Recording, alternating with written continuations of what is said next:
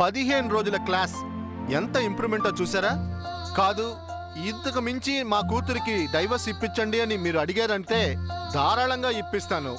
కానీ నా వల్ల కాదు. నాకు తెలిసిన మిస్టర్ సభాపతి అనే నా friend lawyer. Sir sir sir. మీరు మా అల్లుడు గారు మాట్లాడుకుంటున్నప్పుడే నేను వచ్చాను. విన్నాం. నా కూతుర్ని చాలా ప్రేమగా పెంచాను. అది నా కళ్ళు కప్పేసింది. అదెక్కడ కష్టపడుతుందోనని నా భయం సార్. నాన్న వీటన్నిటికీ కాయగూరలు నేనే కట్ చేశాను. చూడండి చేతులేం కోసుకోలేదు. ఆ అన్నం కూడా నేనే మార్చాను నా మీద పోసుకోను లేదు కాల్చుకోను లేదు. కానీ ఉల్లిపాయలు కోసేటప్పుడు కళ్ళల్లో నుంచి నీళ్ళు కారాయి నాన్న. అమ్మా ఉల్లిపాయలు ఎవరు కోసినా సరే కళ్ళల్లో నీళ్ళు వస్తాయమ్మా. అల్లుడు గారు నన్ను. మ్, మావయ్య ఆ, ఆ, నా కూతురు. ఆ, సారీ నీ భార్యనే. మీరు క్షమించి స్వీకరించాలి. ఆ, మావయ్య నేను సార్. జీసస్ ఇక్కడే ఉన్నారు. ఎక్కడంతా అణుకువ విధేయత ఉందో అక్కడంతా శాంతి ప్రేమ ఉంటుంది. మామగారు అల్లుడు కలిసిపోయారు. చూసారా? శాంతి వచ్చేసింది. రండి మీరు కూర్చోండి. భోంచేద్దాం. స్టీఫెన్ సార్ మీ ఇల్లు లాంటిదే. భోంచేయండి. సుధా కుమార్తె మీ చిన్నానికి ఆ బిర్యానీ ఆ రొయ్యల బిర్యానీ కాస్త అయ్యి ఏమైంది? హాట్ బాక్స్ ఖాళీ. దుర్మార్గుడా ఫుల్గా తినేసావా? చిన్నాన్న ఆయన తిట్టుకోండి. రేపు మీరు మా ఇంటికి రండి. మీకు బిర్యానీ అది ఇది అంటూ ఫుల్ మీల్స్ పెడతాను. మధ్యాహ్నం తినడం మాత్రం కాదు. నైట్ నేను ఇంటికి వచ్చేటప్పటికి రెండు పొట్లాలు పార్సల్ కూడా ఇవ్వాలి. ఎస్ యువర్ ఆనర్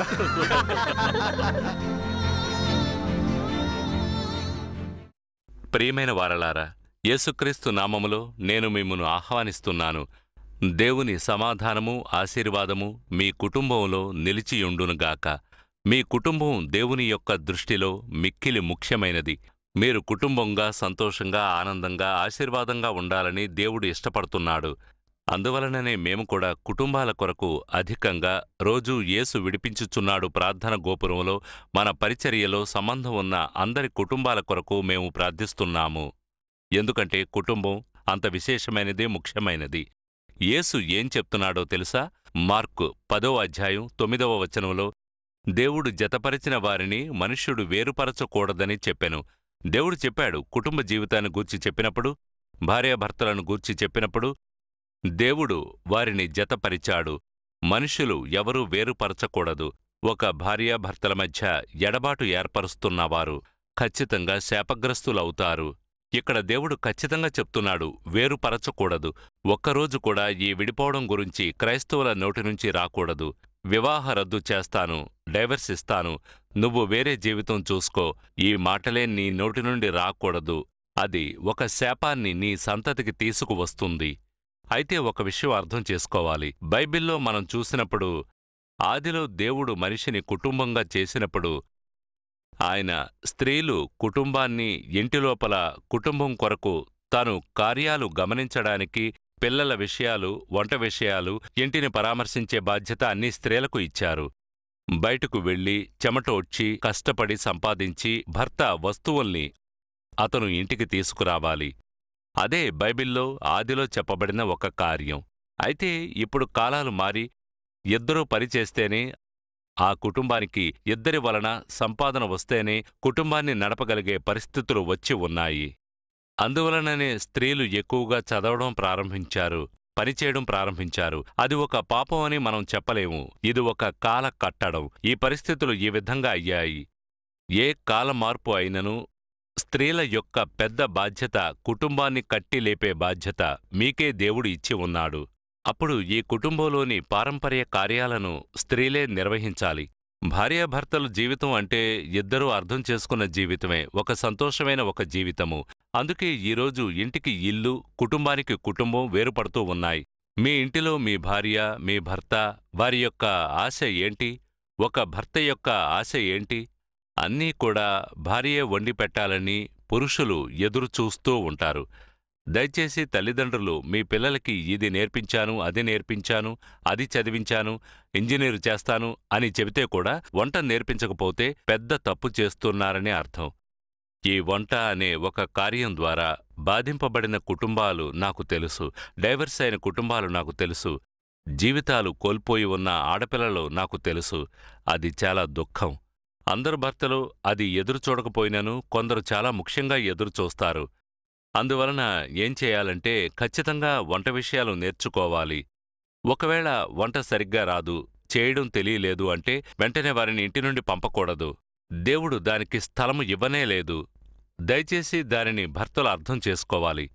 కొన్ని రోజులు అవ్వచ్చు. భార్యను మీరు అర్థం చేసుకుని అర్థమయ్యేలా చెప్పి కొందరు నాకు తెలిసిన కొందరు పిల్లలు ఇంటిలో ఉన్నప్పుడు ఒక కాఫీ పెట్టడం కూడా రాదు. అయితే పెళ్ళయి వెళ్ళిన తర్వాత ఏం నేర్చుకుంటున్నారు? వంట చక్కగా చేస్తున్నారు. నేను చూసి ఆశ్చర్యపడ్డాను. ఇంటిలో కాఫీ కూడా పెట్టడం తెలియదు అప్పుడు ఆమె కాఫీ పెట్టి ఇచ్చి చక్కగా వంట చేస్తుంది అంటే అన్నీ నేర్చుకుంది. చూడండి పరిస్థితులు వారిని మారుస్తాయి. కొంచెం సమయం ఇవ్వండి. ఇప్పుడున్న పరిస్థితులు పిల్లలు చదువుతున్నారు లేక ఉద్యోగం చేయడం వల్ల బిజీగా ఉన్నారు. అందువల్ల దీనిలో ఇష్టం లేకుండా ఉంటున్నారు. అయితే కుటుంబం అని వచ్చిన తర్వాత తన యొక్క కుటుంబం తన యొక్క భర్త అని వెంటనే తన భర్తకు అన్నీ చేసి పెట్టాలనే ఆశ కలుగుతుంది. చేయడం ప్రారంభిస్తారు నేర్చుకుంటారు. భర్త కూడా ఆ విషయాన్ని అర్థం చేసుకుని విడిచిపెట్టాలి. కుటుంబం అంటే అదే. మీరిద్దరూ కలిసి మాట్లాడుకుని భర్త ఇష్టపడ్డ రీతిగా భార్య నడుచుకోవాలి. భార్యను అర్థం చేసుకుని భర్త నడుచుకోవాలి. అదే కుటుంబం. ఆ విధంగా ఉంటే మీలోనే ఒక సంతోషం ఆనందం ఉండగలదు. మనం చట్టం వేసి రూల్స్ వేసి ఇలాగే అలాగే అని చెప్పి రోడ్లో నిలబడి పోలీసులు లైసెన్స్ ఉందా అది ఉందా అని కోప్పడి ఫైన్ వేసే విధంగా కుటుంబాన్ని నడిపించలేం. క్షమించాలి. ప్రేమ. ఇంటిలో ప్రేమ భార్యాభర్తల మధ్య ప్రేమ ఒకరినొకరు క్షమించుకుని అర్థం చేసుకోవడం. అదే కుటుంబం. లేదు నేనిలాగే ఉంటాను. ఇదే రూల్స్ అండ్ రెగ్యులేషన్స్ అని పెట్టి కుటుంబం నడపకూడదు. అది వచ్చి పోలీస్ స్టేషన్లాగా ఉంటుంది. మన కుటుంబం అలా కాదు. కుటుంబం అంటే ఒక సంతోషం. ఒక చిన్న పరలోకంగా మీరు అర్థం చేసుకోవాలి. ఒక కుటుంబం సంతోషంగా ఆనందంగా ఐక్యంగా ఆనందంగా ఉండాలి అంటే అందులో స్త్రీ భాగము చాలా ముఖ్యమైనది. దానిలో పురుషులకు భాగము ఉన్నది. అయితే స్త్రీల భాగము చాలా ముఖ్యమైనది విశేషమైనది. వారి దగ్గర దేవుడు ఒక పెద్ద బాధ్యతనిచ్చాడు. కుటుంబాన్ని కట్టే బాధ్యత. ఆ ఆశీర్వాదము స్త్రీలకు సంబంధించినది. సృష్టిని బట్టి స్వభావాన్ని బట్టియే. వారిలోనే ఆ విధమైన స్వభావం ఉండుట చూడగలము. దేవుడు ఆ వరం వారికి విశేషంగా ఇచ్చాడు. అందువలననే స్త్రీలు దేవుని దృష్టిలో చాలా విశేషమైనవారు. గుణవతి అయిన భార్య దొరుకుట చాలా అరుదు. అది మంచి ముత్యముల కంటే విలువైనదని బైబిల్ వారిని గొప్పగా మాట్లాడుతోంది. ఒక బైబిల్ వచనాన్ని నేను చదువుతాను. నలభై ఐదవ కీర్తనలు పది పదకొండు వచనములు. నలభై ఐదవ కీర్తనలు పది పదకొండు వచనాలు చూడండి. కుమారి ఆలకించుము. ఆలోచించి చెవి యొగ్గుము. నీ స్వజనమును నీ తండ్రి ఇంటిని మరువుము. ఈ రాజు నీ ప్రభువు. అతడు నీ సౌందర్యమును కోరినవాడు. అతనికి నమస్కరించుము. నీవు నీ స్వజనములను నీ తండ్రి ఇంటిని మరిచినట్లయితే రాజు నీ సౌందర్యమును కోరును. చూడండి నీ భర్త నీపై ప్రేమగా ఉండాలి ఆశ కలిగి ఉండాలి ప్రేమ చూపాలి అంటే మీరు చెయ్యవలసిన ఒక కార్యం ఉంది. నీ స్వజనులను నీ తండ్రి ఇంటివారిని మరువవలెను. మీరు అది ఆలోచించుకుంటూనే త్వరపడి ఇంటిలోనికి రాకూడదు. అది మరిచిపోవాలి అని బైబిల్ వచనం చెబుతోంది. అందుకొరకు మనం తల్లిదండ్రులను మరిచిపోయి సంబంధం లేకుండా ఉండాలి అనే అర్థం వచనం చెప్పలేదు.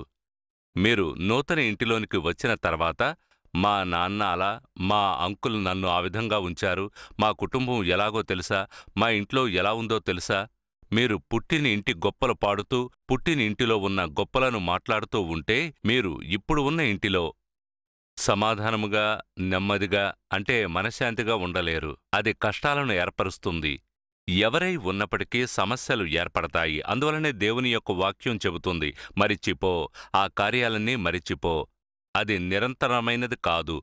మీ తల్లి ఇంటిలో మీ తండ్రి ఇంటిలో వారు బతిమలాడినది ప్రేమ చూపినది అదంతా నిరంతరం కాదు పెళ్ళయ్యేంత వరకే. పిల్లలను పెంచగలరు దాని తర్వాత ఇప్పుడు ఉన్న ఇల్లు నిరంతరం. ఇది చనిపోయే వరకు ఈ సంబంధం విడదీయలేము.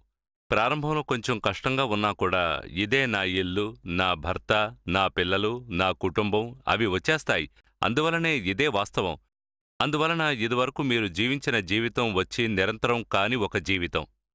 ఇప్పుడు ఒక ఇప్పుడున్న ఇంటిలోనికి ఎప్పుడు వచ్చారో ఎప్పుడు పెళ్ళై భర్త వచ్చాడో ఇదే ఒక నిరంతరం చనిపోయే వరకు. మరణం వరకు ఎవరూ మిమ్ము విడదీయలేరు విడదీయకూడదు విడిపోకూడదు ఇదే బైబిల్ చెబుతోంది. అప్పుడు నిరంతరమైన ఈ జీవితానికి మిమ్మును సమర్పించుకోవాలి. అందుకు మీరు వారి యొక్క పుట్టింటి గొప్పతనం ఇక్కడ మాట్లాడకుండా మనసులోనే ఉంచుకుంటే మంచిది. ఎందుకంటే అందరు భర్తలు అందరు భర్త ఇంటివారు దానిని అలా అంగీకరించి సంతోషపడరు. మీ మీద కోపం అసూయ కలుగుతుంది. మీ కుటుంబం మీద అసహ్యం కలుగుతుంది. మీ వలన అటువంటి ఒక తప్పు జరగకూడదు. మీరే ఆ కుటుంబస్తులు మీ కుటుంబాన్ని అసహించుకొనడానికి కారణం అవుతారు. దానికి స్థలం ఇవ్వకూడదు. ఇప్పుడు మీరు వచ్చిన ఇల్లే నిరంతరం. ఇదే నా ఇల్లు. ఇదే నా సంబంధం ఇదే దేవుడు నాకు ఉంచిన జీవితం అని అంగీకరించి ఆ జీవితంలో మిమ్మును ఉపయోగించుకొనడానికి సమర్పించుకొనండి. అప్పుడు దేవుని యొక్క ఆశీర్వాదం నీ జీవితంలో ఉంటుంది. చిన్నదానికి మా నాన్న దగ్గర చెబుతాను మా అమ్మ దగ్గర చెబుతాను మా అన్నకు ఫోన్ చేస్తాను వాళ్ళు అడుగుతారు అడగడానికి ఎవరూ లేరని అనుకున్నారా? మా నాన్న వచ్చి అడుగుతారు ఈ విధంగా మాటలు ఉపయోగించవద్దు మీ జీవితాన్ని మీరే పాడు చేసుకుంటున్నారని అర్థం. అటువంటి మాటలు మాట్లాడవద్దు. దేవునిపై ఆనుకొనండి. ప్రార్థన చెయ్యండి దేవుణ్ణి పట్టుకోండి. ఏదైనా దేవుని దగ్గర మనసు విప్పి మాట్లాడండి. దేవుడే మీకు ఈ జీవితాన్ని ఏర్పరిచి ఇచ్చాడు. దేవుడు మీ కొరతలను నెరవేర్చి అవసరములను సంధించి అద్భుతంగా నడిపిస్తాడు. అందువలన ఈ వచనాన్ని జ్ఞాపకం ఉంచుకొనండి. కుమారి నీవు ఆలకింపుము. ఆలోచించి చెవి యొగ్గుము నీ స్వజనమును నీ తండ్రి ఇంటిని మరువుము. ఈ రాజు నీ ప్రభువు అతడు నీ సౌందర్యమును కోరినవాడు. నీ భర్త నీ సౌందర్యమును కోరుకుంటాడు. అప్పుడే నీపై ప్రేమ కలుగుతుంది. మీరు అది మరిచి ఇదే నా కుటుంబం. మీ కుటుంబమే నా కుటుంబం.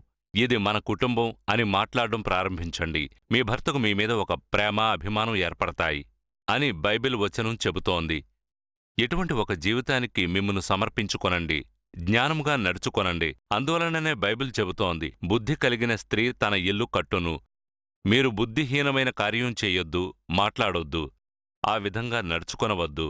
బుద్ధిగా జ్ఞానముగా నడుచుకొనండి. మీ జీవితం ఆశీర్వాదకరంగా ఉంటుంది సమాధానముగా ఉంటుంది. అయ్యో దీనిలోనే నేను తప్పు చేశాను ఈ విధంగా ఆ విధంగా మాట్లాడాను అంటే ఈ రోజు నుండి మార్చుకొనండి. ఈ రోజు నుండి మీలో ఒక మార్పు కలగడానికి దేవుని దగ్గర అడగండి. దేవుడు మీకు కృపను ఇస్తాడు. మీ కుటుంబంలోని పరిస్థితులు మారతాయి. కుటుంబంలో సంతోషం సమాధానాన్ని దేవుడు ఇస్తాడు. దాని కొరకు ప్రార్థన చేద్దామా? దేవుడు మీకు సహాయం చేయలాగున నేను ప్రార్థిస్తున్నాను. తండ్రి ప్రియమైన ఈ కుటుంబం కొరకు స్తోత్రం. కుటుంబాలను ప్రేమించే దేవుడవు. కుటుంబాలను ఆశీర్వదించే దేవా ఈ ప్రియమైన కుటుంబమును నీవు ప్రేమించి ఆశీర్వదిస్తున్న ప్రేమ కొరకు స్తోత్రం. ఓ ప్రభువా ఈ కుటుంబంలో అనుమానాలు సమస్యలు సమాధానము లేని పరిస్థితులు సణుగుడులు దేవా అటువంటి ఏదైనా సమస్య కనబడి సమాధానం కొరత కనిపిస్తే అటువంటి కుటుంబాలలో మీ దైవ సమాధానం కలుగునుగాక అని నేను ప్రార్థిస్తున్నాను. ఓ నా తండ్రి భార్యలైన వారు జ్ఞానముతో నడుచుకుని కుటుంబములను కట్టి లేపడానికి ఆ బిడ్డలకు కృపను ఇవ్వండి జ్ఞానాన్ని ఇవ్వండి నీ కృపను ఇవ్వండి. దేవా చేసిన కొరతలు తప్పులు దయచేసి క్షమించి ఈ కుటుంబములు కట్టబడాలని నేను ప్రార్థిస్తున్నాను. కుటుంబములలో సమాధానం కలిగి ఉండాలని ప్రార్థిస్తున్నాను. ఈ కుటుంబమును విడిచి సకల రోగములను పారద్రోలండి. వ్యాధులు తొలగిపోవాలి. అప్పుల బాధలు ఇబ్బందులు యేసు నామములో తొలగునుగాక ఈరోజు మొదలు కుటుంబములో సమాధానం ఆశీర్వాదం నింపుదల అభివృద్ధి కలుగునుగాక సంపాదనను ఎక్కువ చేసి అభివృద్ధి దినములను కలుగుజేయండి దేవా లోటులలో అప్పుల సమస్యలు అన్నీ పూర్తిగా తొలగిపోవునుగాక దేవా ఈరోజు మొదలు ఆశీర్వదిస్తున్న ప్రేమ కొరకు స్తోత్రం. ఇంటిలో పని లేకుండా ఉన్న బిడ్డలకు పనికి మార్గాలు తెరిచి ఇవ్వండి. సంపాదన కొరకు ఎదురు చూస్తున్న ప్రయాసపడుతున్న పిల్లలకు మార్గాలు తెరిచి ఇవ్వండి. వారి మనోవాంఛలను నెరవేర్చి ఇవ్వండి. భయంకర వ్యాధుల చేత బాధింపబడి కుటుంబమే కలత చెంది నిలువుబడ్డ కుటుంబాల కొరకు ప్రార్థిస్తున్నాను. పాపపు ఈ వ్యాధులు యేసు నామమున తొలగునుగాక. క్యాన్సర్ వ్యాధి మాయమగునులాగా యేసు నామములో బాధింపబడిన శరీరములు స్వస్థత పొందునుగాక. హృదయాలు యేసు నామములో స్వస్థత పొందునుగాక. దేవా మీ గాయపడిన హస్తం తాకినందుకు స్తోత్రం. దేవుడు అద్భుతం చేసినందుకు స్తోత్రం. ఆశీర్వదించినందుకు మీకు స్తోత్రం.